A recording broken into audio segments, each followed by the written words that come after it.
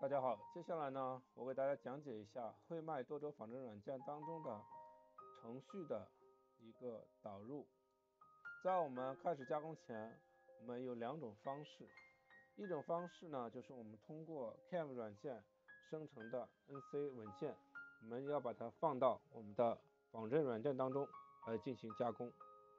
还有一种就是我们手工编程方式，通过我们的汇迈仿真多轴软件。当中的一个呃手动输入来完成一个程序的一个设计。那我们现在来讲解一下 CAM 软件生成的文 NC 文件如何来导入到我们的仿真软件当中。呃，在讲导入之前，刚才我们试切的工件试切的时候留下了一个呃试切的痕迹，我们如何来消除呢？我们点击一下像红绿灯一样的一个图标，这个就是重建模型。那这样子这个模型就进行了一个恢复。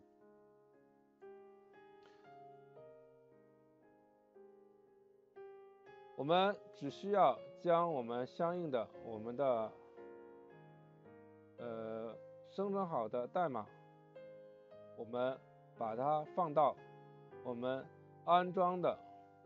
汇卖多轴仿真软件的路径下就可以。我放在了我的 D 盘程序文件汇卖仿真软件的文件夹下面的对应的这个位置，大家看一下。